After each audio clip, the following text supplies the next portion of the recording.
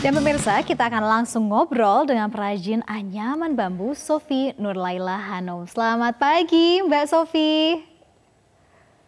Halo, selamat pagi.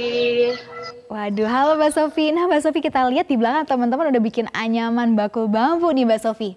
Nah Mbak Sofi, tapi bisa diceritain nggak Mbak, pertama kali bikin bambu tuh kapan sih Mbak Sofi?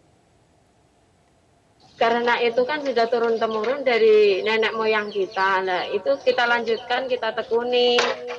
Dan inilah keseharian kita di rumah untuk buat nyaman bambu. Hmm. Di saat kita sudah pekerjaan rumah, kita melakukan aktivitas kalian untuk membuat anyaman bambu. Oke, berarti ini turun temurun dari nenek Mbak Sofi. Pertama kali diajari nenek ini memang karena uh, wajib kah atau karena Mbak Sofi pengen belajar kah atau gimana sih pertama kali Mbak Sofi belajar menganyam seperti ini? Karena sering melihat nenek membuat, kita suka ingin membuatnya juga. Oke, karena lihat nenek langsung pengen belajar ya Mbak Sofi.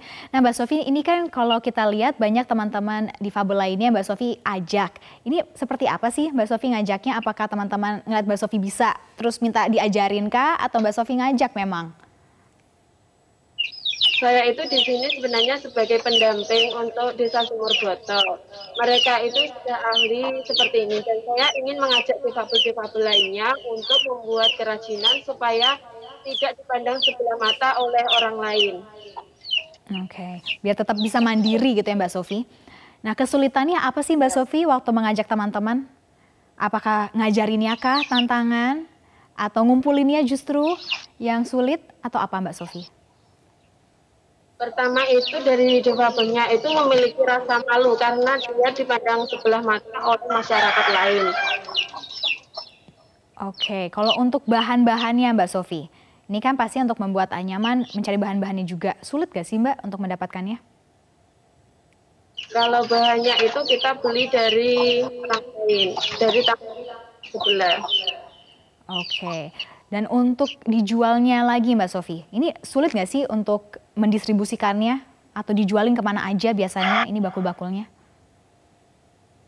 Itulah tantangan kita, kesulitan kita untuk pemasaran.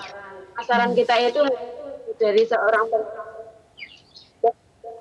difabel Blora Musika itu mencoba kan secara on, bantu secara on. Hmm. Baik, itu kendalanya ya untuk memasarkan Mbak Sofi. Kalau untuk harapannya ada nggak Mbak Sofi? Mungkin untuk dari bantuan kah, dari pemerintah, atau mungkin dari teman-teman lainnya, apa yang diharapkan?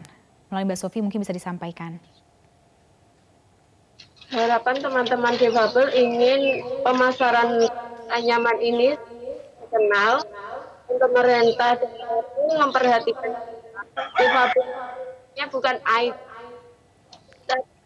itu adalah mampu untuk apa yang ya lainnya lakukan. Baik, terima kasih Mbak Sofi. Iya. Ya.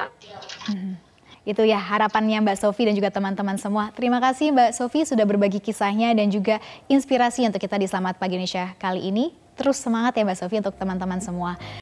Nah jangan lupa untuk subscribe YouTube channel Metro TV News dan juga nyalakan notifikasinya.